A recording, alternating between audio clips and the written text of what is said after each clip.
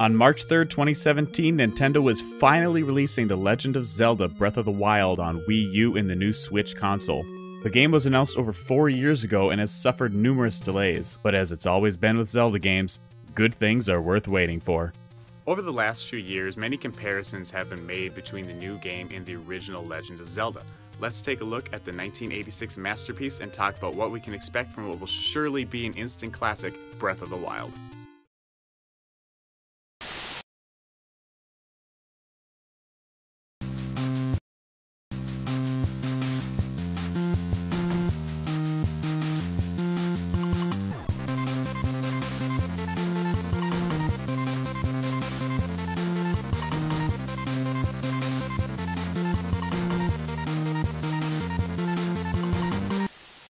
Let's take a close look at the original before we dissect the link between that and Breath of the Wild.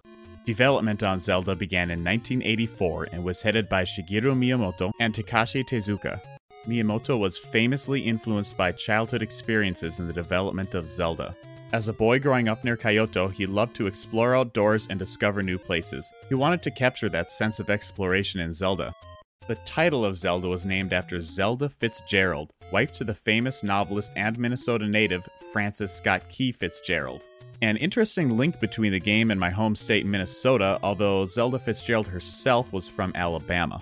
Zelda was designed to be a launch title for the Famicom Disk System, which would thus, of course, be on disk medium, enabling rewritable content in this case, allowing users to save and reload game data.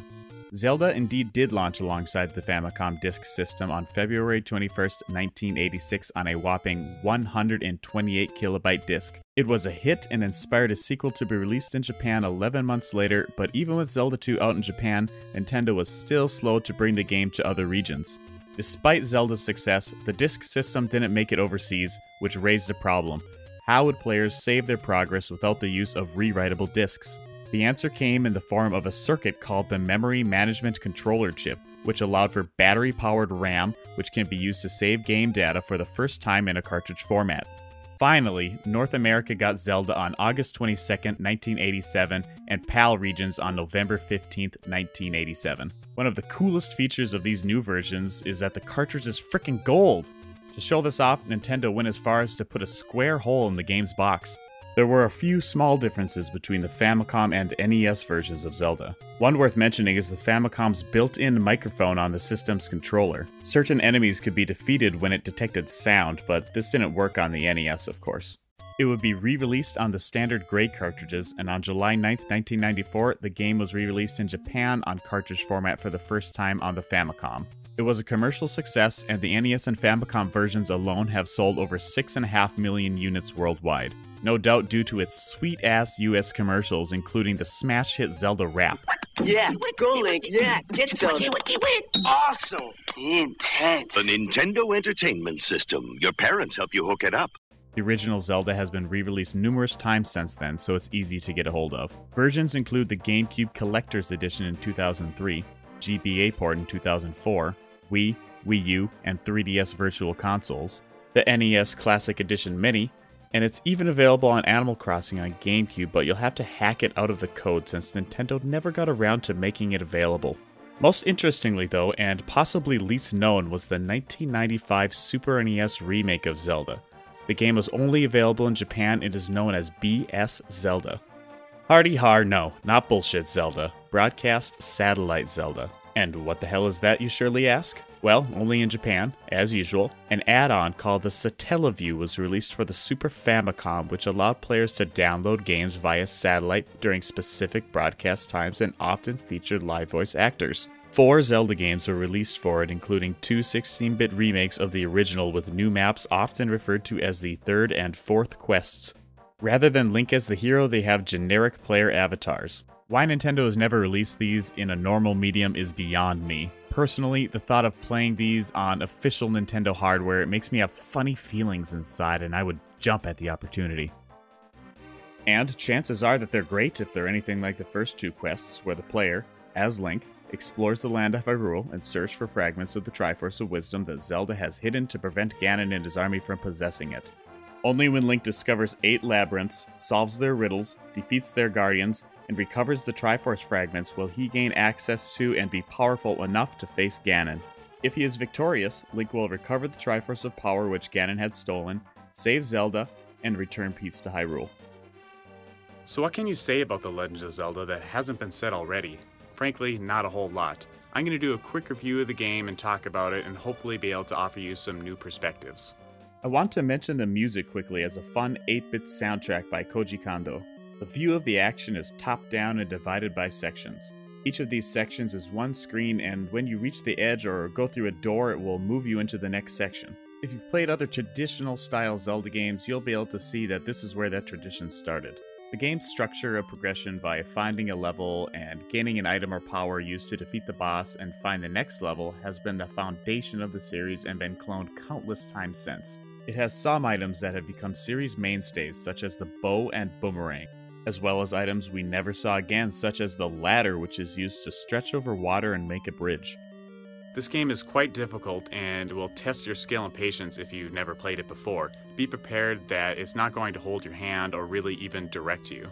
Unless you are really prepared to exhaust every option and spend a ton of time not knowing what the hell you're doing, you'll want to look up a walkthrough or at least a map such as those in the NES Game Atlas published by Nintendo Power, which are high quality and still leave you with the puzzles to solve. The Atlas also explains why on Earth one of the temples is shaped like a swastika. Enemies also come in many shapes and sizes and range from pushovers that help you get used to the controls to hard as nails dungeon baddies. Take for example the Iron Knuckles. They swarm you and kick your ass. Maybe Katie can help us out with a few pointers. Hey guys! So Zelda is a pretty hard game, especially for Mark. So I'm going to give you some tips that'll help make your adventure more bearable. First, one that everybody knows. After you beat Ganon the first time, you'll unlock a second version of the game to play through with new maps and more difficult temples. However, there is an easy way to access the second quest without beating Ganon. On the File Select screen, you'll need an empty file. Choose Register Your Name and use Zelda as a file name. Select this file and you'll automatically start on the second quest. Some enemies, like Iron Knuckles, can kick your butt if you're not careful, especially in groups. Try attacking them from around a corner before they can turn towards you. Even better, if you're on the bottom side of blocks, your sword will reach through to hit enemies on the opposite side while keeping you safely out of harm's way. But remember, this only works from the bottom. One inconvenient thing about this game is that you can only save when you get game over. Well, that's not entirely true. First, press start to enter the inventory screen. Now plug a controller into the second slot of your NES. Press and hold A on controller 2, then press any direction on the D-pad. This will activate the save screen without having to go through a game over. Those are just a couple tricks in Zelda, but don't worry, there's still lots of secrets to discover. Now if you'll excuse me, I've got a swordless three heart run to get back to. Thank you, Katie. Personally, I love this game as I do with almost every Legend of Zelda title. I love seeing where so many aspects of Zelda today got their start, and there is something very satisfying to me every time I play this game. If I start a new file, I almost always fall through to the end. A huge contributor to that enjoyment comes in the game's play control. It's tight, accurate, and responsive, and gives you a real sense of accomplishment every time you beat a difficult enemy. So, who would I recommend The Legend of Zelda for? First of all, if you consider yourself to be a true Zelda fan, playing through this is a must to prove your worth.